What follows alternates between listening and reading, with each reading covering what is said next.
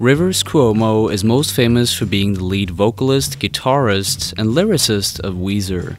The band has the reputation of being one of the best bands of the 90s and 2000s, creating angsty and poppy alternative rock that led the way after nu metal and grunge stopped being popular.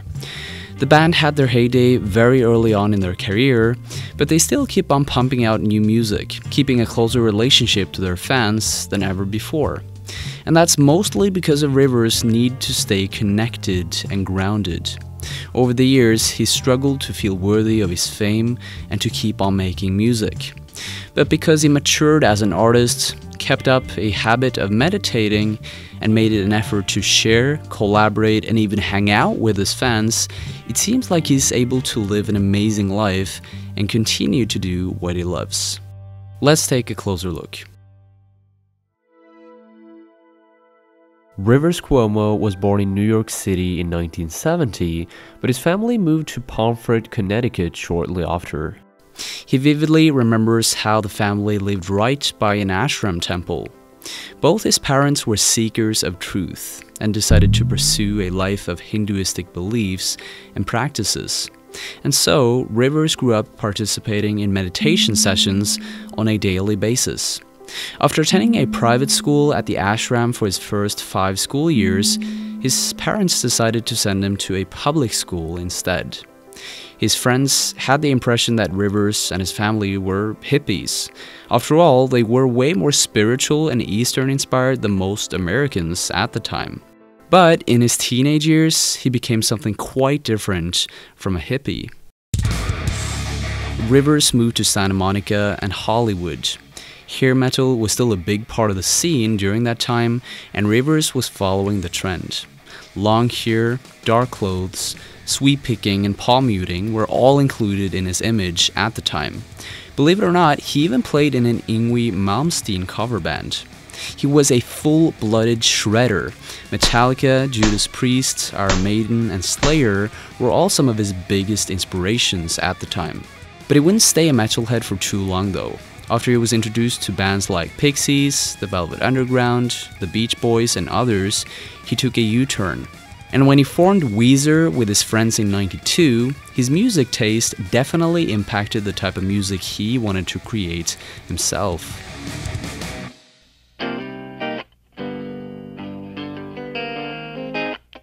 The band name, Weezer, was something Rivers' father, Frank, used to call him as a toddler.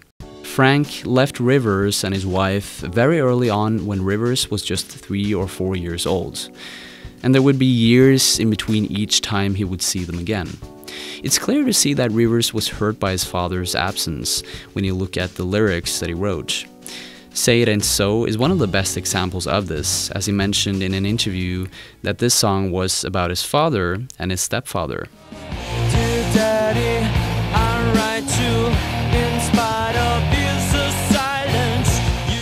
Years later, it seems like he developed a better relationship with his biological father. Frank, who's now a bishop, often invites Rivers to his church to see him preach. Rivers has even said that the way his father builds up his preach with musicians and grandiosity has inspired him to try out new things with his own music. Uh, for God to work. Uh, it's time uh, for God to do His stuff. It's time uh, for God uh, to do His thing. Now, Weezer's first lineup consisted of Rivers Cuomo as guitarist and vocalist, Patrick Wilson on drums, Matt Sharp on bass, and Jason Cropper on guitar. The guys signed to Geffen Records in 93 and recorded their debut album that was eventually released in 94.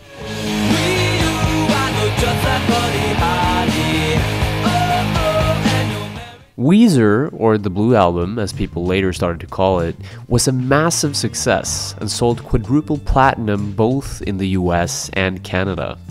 In just a few weeks and months, Weezer went from being an unknown band to becoming world stars. In interviews, Rivers was very open about how he freaked out when this happened.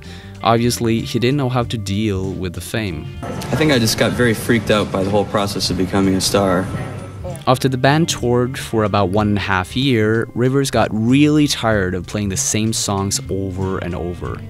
he also got turned off from the rock star lifestyle. So when the band one day played a show in Boston, he spent some of his time walking around on the campus grounds of Harvard. He eventually came to the conclusion that he wanted to take time off and go to school instead. And so he filled out an application. It wasn't until we got off the road and then I was alone for for a, a year when I was in school that I started to realize that actually I wanted to be a star and I want to take advantage of that mm-hmm. opportunity and I want to have fun. In Christmas of 94, Rivers went home to record demos for the next Weezer album. His original idea was to create a space themed rock opera about his hardships in dealing with fame. The project came to a halt in 95 after he was enrolled at Harvard, and he became more inspired to write even darker and less playful music.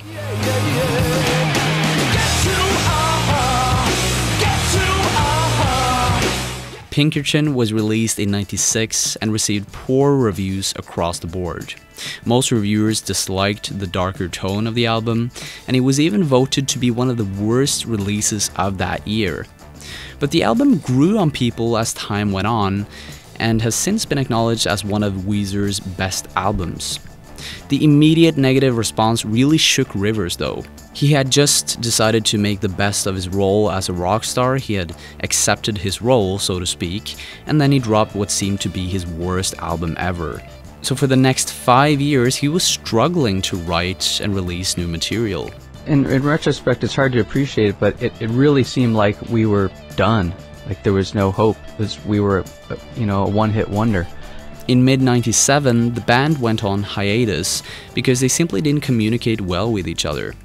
Rivers went back to Harvard and started a short lived band with local Boston musicians. But in 98, Cuomo, Bell, and Wilson reunited in Los Angeles to record their third album. A lot of creative disagreements and changes happened during this period, leading the recordings to a halt and Rivers into a state of depression. He painted the walls of his home black, put fiberglass insulation on his windows to not let any sunlight in. And uh, I, I said to the world, okay, everybody, here I am. Take it or leave it. And then everybody hated the record. So I, th I think I'm much more afraid and much more closed off. The time after Pinkerton was a huge slap in the face for Rivers.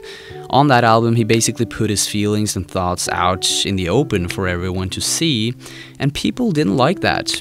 It was probably a moment where he was more fragile than ever, causing him to become even more brokenhearted and insecure.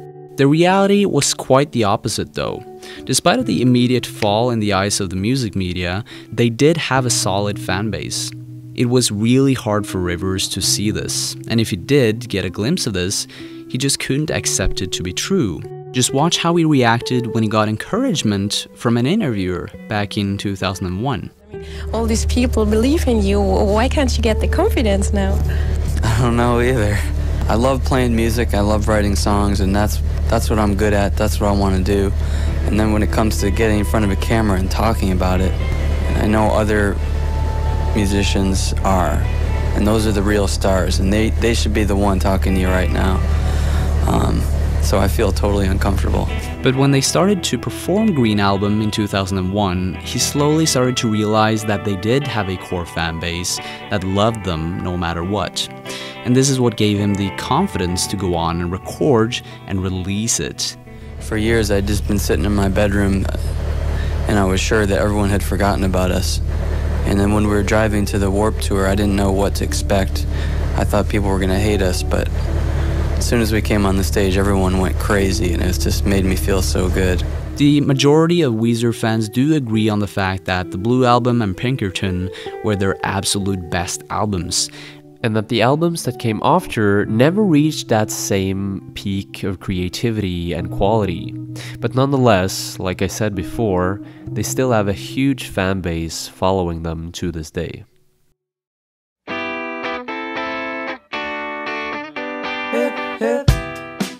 Now, in 2007, Rivers and his wife had their first child, their daughter, Mia. Having a child changed the way Rivers wrote lyrics. He mentioned in an interview that the themes in particular changed a bit and that he was more willing to take risks from that moment onwards. It's opened up a new world of topics to write about because I don't have to write about, oh, I'm lonely anymore. He has attributed the continued success of his band and his willingness to have a family to him taking up meditation again. When the band worked on Make Believe, their fifth studio album in 2005, they were lucky enough to work with legendary producer Rick Rubin. Rubin was, and probably still is, a big believer in meditation as a pathway to strengthening one's creative faculties. And so, ever since that time, Rivers was convinced that he needed to have a strict habit of meditation two hours per day, every day. But a thing that might have helped Rivers make peace with his unstable emotions even more was the fact that he developed an even deeper connection with his fans as time passed by. He's taken the time to collaborate, share, and even hang out with them. Back in 2008, he made a video on YouTube where he asked his fans to help him come up with a name for a song that he was making. Sure, not the biggest collaboration ever, but most other artists would reserve the right to name all their songs themselves, so this was a very altruistic move. This is where you guys come in. We need a song title. Another time, the band invited 100 of their fans to play with them. The fans were encouraged to bring their instruments, and it could be really any type of instrument. The plan was to play 5 to 8 songs for two nights with a big fan group. The band gave the fans the set list of the songs they wanted to play and gave them a clear message to rehearse those songs. It turned out to be a hybrid between a show and a recording session. Personally, I really can't think of a better way to share the spotlight and their success with their fans than to have them as guest artists on a show and even a recording session. Now, Rivers definitely has a thing for random acts of kindness, and that doesn't only go for the times he spent with his band. From time to time, he'd arrange nerd nights. Basically, he would go on Twitter and ask, Hey, does anyone want to go and see Shakespeare? Then he would buy 40 tickets to a Shakespeare play and invite people there. He basically treats his fans like potential friends and family by doing these things. Rivers Cuomo has changed a lot during his close to three decades in music. He went from being a metalhead to a rock star nerd singing about being lonely. Then he became famous and freaked out. He went back to school and became a real nerd again until he returned, feeling more at ease with his fame. He then picked up meditation, started a family, and kept on making music with his band. Rivers Cuomo's story is to me a story about someone who struggled to accept the level of success he was destined to have. But as he grew older, he became mature enough to process it and returned to what he loved. He always returned to make more music. Thanks for watching. If you've ever wondered how I got 800,000 views on my first video essay with close to zero effort, then hit the link in the description below. I'm hosting a free live webinar at 3 p.m. Pacific time today where I'll teach you exactly how to do the same for free. There's a limit to 70 people in the webinar and it will be full, so make sure you click the link in the description now. Thank you so much for listening. Take care. Bye.